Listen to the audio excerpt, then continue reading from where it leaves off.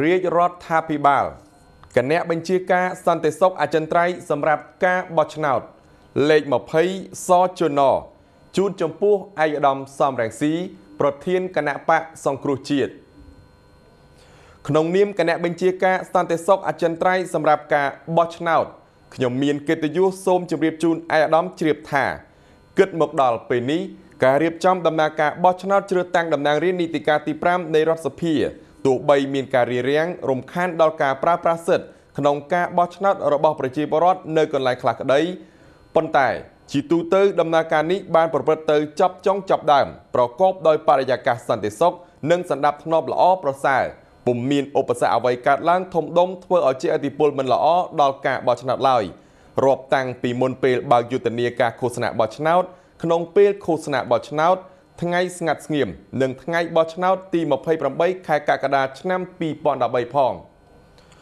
ការកត់សម្គាល់គួរជាទីមោទនភាពរបស់ជាតិនោះគឺគ្រប់កម្មវិធីទាំងអស់រាប់ទាំងការជួបប្រជុំសមាជិកគណៈបកនយោបាយឬការដង្ហែក្បួនឃោសនាតូចធំ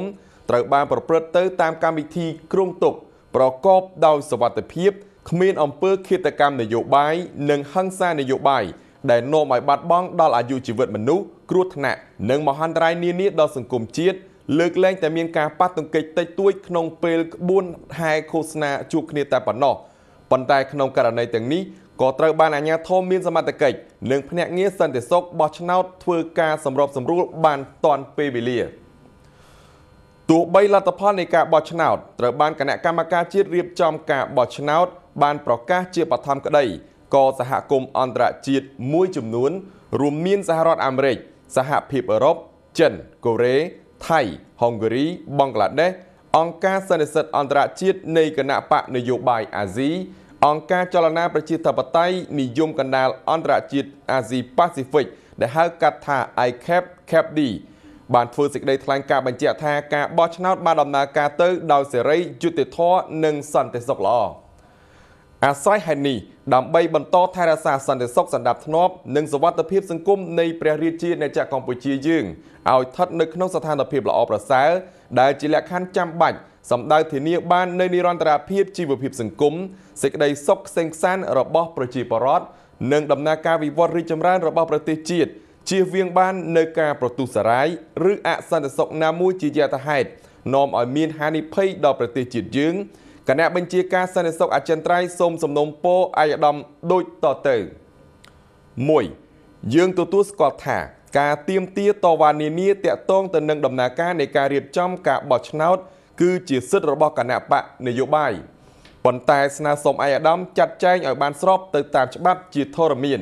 ពិសេសច្បាប់ស្តីពីការធ្វើបាតកម្មដោយសន្តិវិធី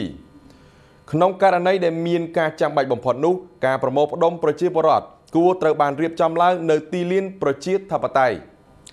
2ស្នើសុំឯកឧត្តមចាត់តាំងមន្ត្រីបង្គោលដែលទទួលការងារសន្តិសុខសណ្ដាប់ធ្នាប់ផ្ញើឈ្មោះនិងអាសយដ្ឋានតាក់ទងមកគណៈបញ្ជាការសន្តិសុខអចិន្ត្រៃយ៍សម្រាប់ការបោះឆ្នោតសម្ដៅងាយស្រួលក្នុងការទំនាក់ទំនងសហការគ្នាបានល្អដើម្បីការពារសន្តិសុខសណ្ដាប់ធ្នាប់ និងសុវត្ថិភាពពេលមានការជួបជុំឬប្រមូលផ្ដុំប្រជាពលរដ្ឋ